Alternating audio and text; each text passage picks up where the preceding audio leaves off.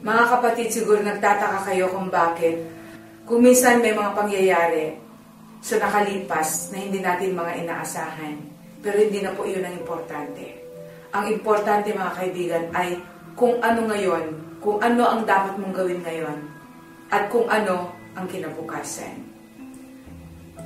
Kung minsan hindi natin inaalala na mas mahalaga pa po kung ano yung kinabukasan kung saan tayo pupunta. Because alam ng lahat na there's always gonna be a second level of our lives. Ngayon hindi natin alam kung mamaya nandyan tayo. Ang saya-saya. Ginagawa natin kung ano yung ginagawa natin araw-araw. Pero bigla na lang may humantong na aksidente o kaya kung iba't iba kung ano yung kung ano yung dumarating na iba't ibang incident sa ating buhay.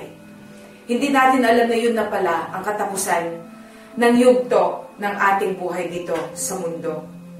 Meron pa rin nakalaan na eternal life para sa atin, mga kaibigan. At ito yung tinatawag na it's either sa heaven o kaya sa hell. Ngayon, matanong ko nga, saan ang gusto niyo?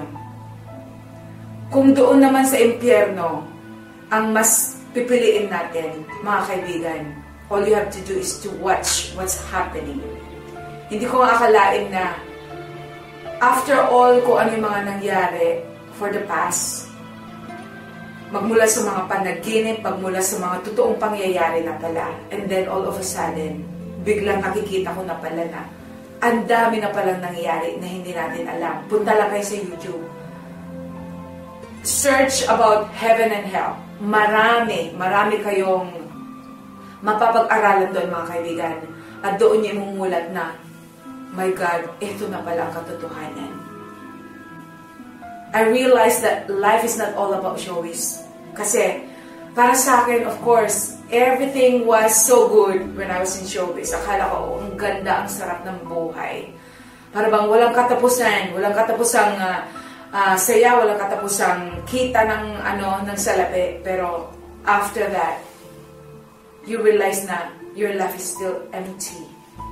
Maraming mga ganong uh, nakaraan sa aking buhay na pagkatapos akong uh, mag-entertain sa lahat and pag uwi ko, I felt na parang nag-iisa pa rin ako. Parang my world was still empty. Hindi ko alam kung eto ba talaga ang kagustuhan ko, eto ba talaga yung ninais ko o kaya pinangarap ko sa buhay. Pagkatapos, maraming against, marami rin, uh, of course, marami kang na-entertain, marami kang napasaya. Pero, in spite of that, marami rin yung mga disappointed sa'yo, marami rin yung mga para bang hindi rin natutuwa sa'yo. So, para bang, after all these things na ginawa ko, para bang, how can I make everybody happy? Of course, you cannot please everybody. You know? Siguro masabi niya, well, ang importante na please ko ang 99% or 90% or 50%. Pero hindi mga kaibigan. The most special um, way to show na talagang you're doing something is to God. Kasi siya yung number one na dapat natin i-please. Kasi siya po yung nagbigay sa atin ng lakas, nagbigay po sa atin ng talino, nagbigay po sa atin ng talento. So, dapat siya po ang number one natin i-please. So isipin natin, bago natin gawin ang isang bagay, isipin natin, am I doing the right thing here? Of course, nasa Biblia, God said, I only go with the holy people.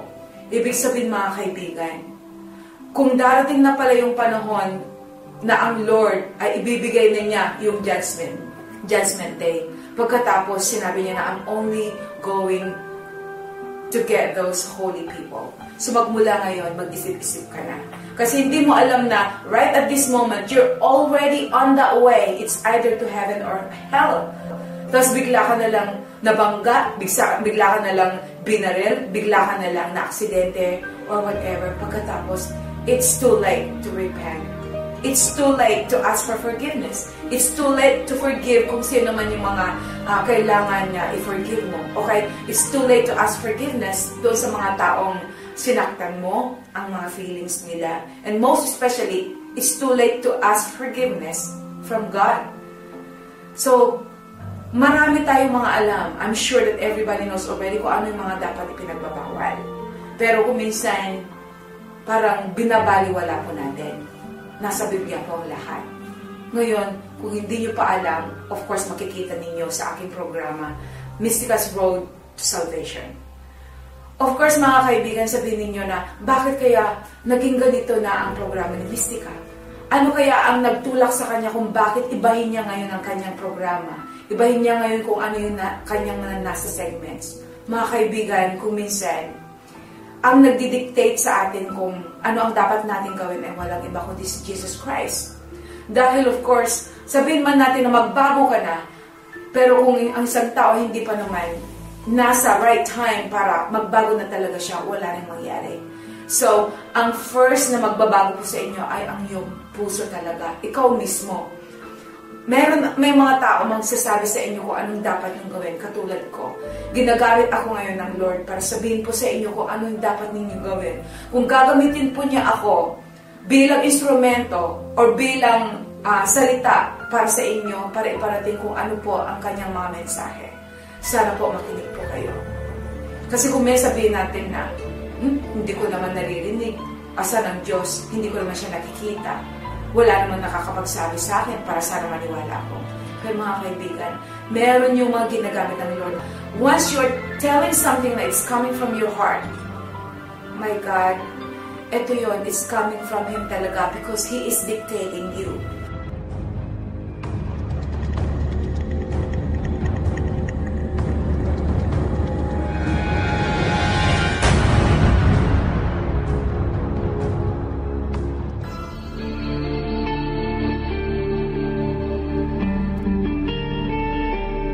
Dear Jesus, I'm a sinner.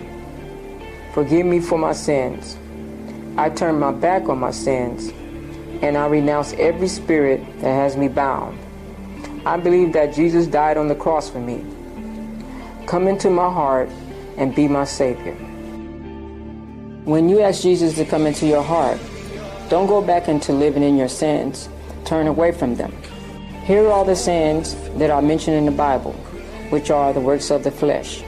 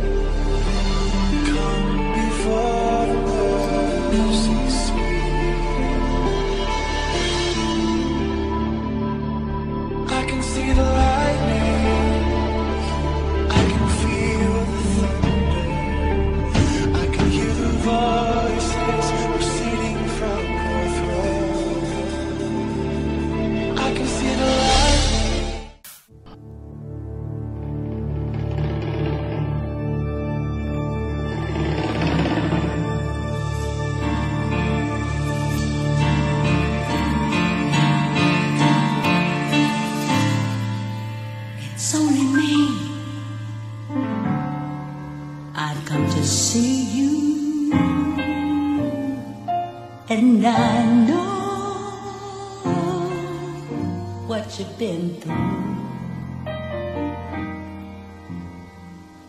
I will be your friend. Lean on me for now. Got to pull you back up somehow. And I have no more of this walking around. I'm tired of you pulling yourself down. Cause in spite of all